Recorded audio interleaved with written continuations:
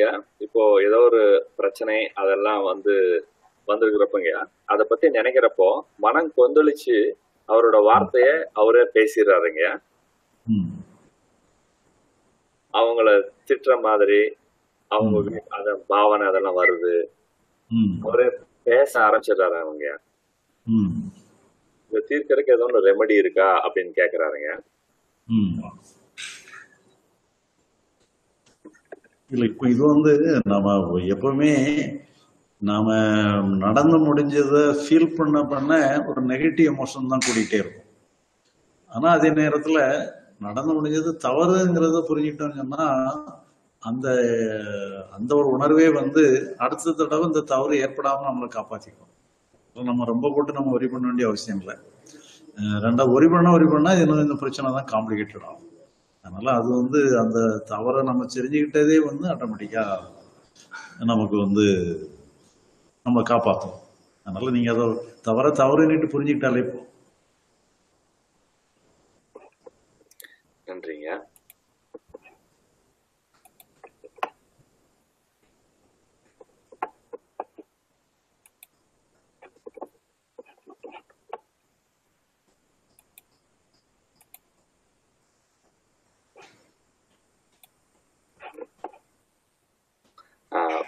யூடியூப்ல இப்போ ரெண்டு கேள்வி வந்திருக்குங்கய்யா. அதை காட்டுறேங்க.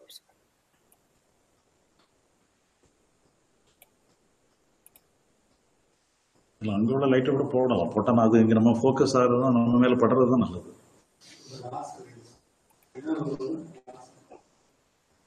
எல்லா சுவிட்சுமே போட்டு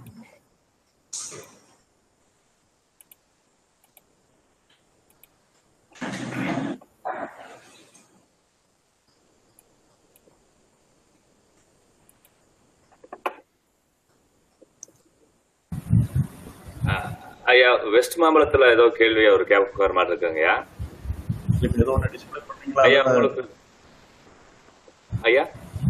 டிஸ்பிளே ஏதோ பண்ணுனீங்க பிறகு சரிங்க அப்ப அது அங்க- அங்கேயே போயிடலாம். அங்கேயே சரிங்க.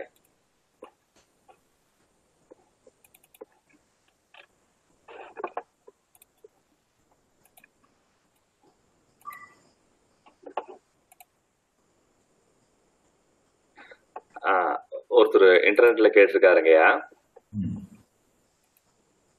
does conscious thinking of the thoughts gets registered in the cosmic mind? அப்படின்னு கேட்டிருக்காருங்க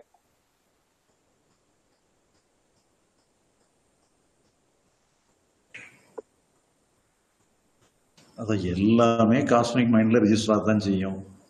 அதனால அது வந்து நம்ம அதை பத்தி ஒரி பண்ண வேண்டிய அவசியம் இல்லை. என்ன ஒன்றா ரெக்கார்ட் ஆகிட்டு போட்டோம். எதெல்லாம் ரெக்கார்ட் ஆயிருக்கு என்னெல்லாம் ரெக்கார்ட் ஆகலைன்னு எல்லாம் நம்ம பார்த்துட்டு இருக்க வேண்டிய விஷயங்கள் எல்லாமே என்ன நம்ம காஸ்மிக் மைண்டுக்குள்ள தானே இருக்கிறோம். காஸ்மிக் மைண்டுக்குள்ள இருக்கும்போது அங்கே ஏற்படுறது எல்லாமே அங்கே ரெக்கார்ட் ஆகத்தானே செய்யும் அதெல்லாம் நம்ம போட்டு ஒரி பண்ண வேண்டிய அவசியம் இல்லை. ரெக்கார்ட் ஆகிட்டு போட்டோம். அதனால நமக்கு ஒன்றும் தப்பு இல்லை. நம்ம அதை பற்றியெல்லாம் யோசிக்க வேண்டியது ரெக்கார்ட் ஆகிட்டு போட்டுமே இதனால நமக்கு என்ன நஷ்டம்? நன்றிங்க. அடுத்தது இன்னொரு கேள்விங்க. நம்ம வெஸ்டாம்பலம் போயிடுவோமா? இல்லைங்க இன்னொரு கேள்வி இருக்குங்க. இதுவுமே இப்போ வந்த கேள்விங்க.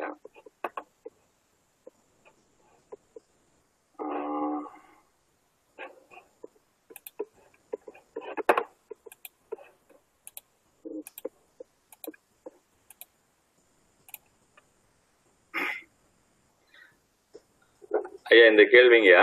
ஐயா. என் ஃப்ரெண்ட் காதலில் மாட்டிக்கொண்டு விட்டார். எப்படி விடுபடுவது? அவருக்கு ஆல்ரெடி மேரேஜ் ஆயிடுச்சு. பொண்ணு வழிய வருகிறது. என்ன செய்வது? அது வந்து நம்ம வந்து இதுல நம்ம வந்து ஒரு நமக்குன்னு சொல்லி ஒரு இது வச்சிருக்கிறோம் இல்லையா? நமக்குன்னு சொல்லி ஒரு ஒழுங்கு முறை ஒழுங்கு எல்லாம் வச்சிருக்கிறோம். அப்படி இருக்கும் பொழுது நம்ம அதை அவாய்ட் பண்றதுனா நல்லது. அந்த அந்த பெண்ணு வந்தாலுமே கூட அந்த பெண்ணுக்கு நம்ம அறிவுரை சொல்லி அனுப்பணும் ஒழிய நாம அந்த பெண்ணையே வந்து நம்மளை அப்ரோச் பண்ணாலுமே கூட நாம அதை ஏற்றிடக்கூடாது அப்ப அதான் நம்ம ஒன்று அணுகுமுறை இப்போ அதுக்காக வந்து நம்ம வந்து நம்ம மேரேஜ் ஆயிட்டோம். அடுத்த பொண்ணு நம்மளை வந்து அப்ரோச் பண்ணுதுன்னு சொன்னால் நமக்கு வந்து ஒரு உணர்ச்சியே இல்லாமல் போயிடும்ட்டு அர்த்தம் இல்லை. உணர்ச்சியெல்லாம் இருக்கத்தான் செய்யும். அந்த அந்த உணர்ச்சி இருந்தாலுமே கூட நம்ம எப்படி செயல்படணும்னுட்டு ஒரு ஒழுங்குமுறை இருக்கு இல்லையா?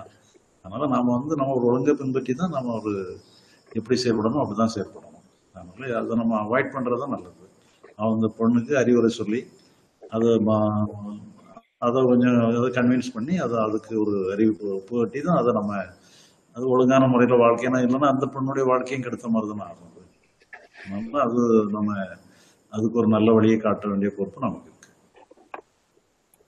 நன்றிங்க